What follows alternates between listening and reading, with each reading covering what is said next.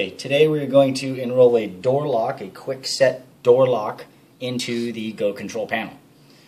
This is in the services area. Hit Z-Wave. There's a little wrench icon on the bottom. This is for adding and deleting devices. Asks you for a code. The code is 1561. And then we're going to hit Add Device. It's asking you to now hit the upper left-hand button here.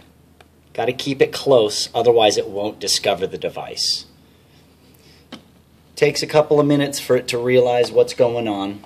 Device discovering, it'll tell you it's a Kwikset door lock.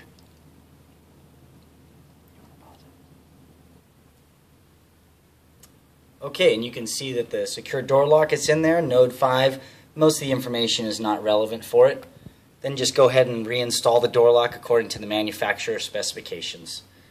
The door lock codes will need to be programmed on the web page. They are not programmable from the panel itself.